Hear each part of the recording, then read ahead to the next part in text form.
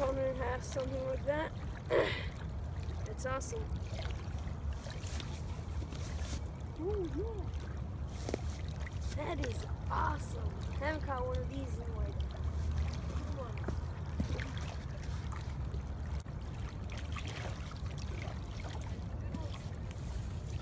Oh.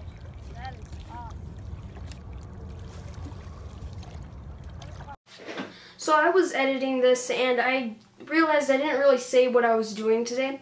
T- Today basically what I was doing, I was just basically um, letting this sit on the bottom and just moving it maybe a couple inches at a time. Just letting it kind of just cover area, let those fish really key in on it because they are very finicky and lethargic. And one key point is that, that it has rattles. Now rattles are usually used in dirty water, but um, I really wanted to call those fish in. You know, they're not, they're just sitting on the bottom. They're basically just laying on it and waiting for something to walk by.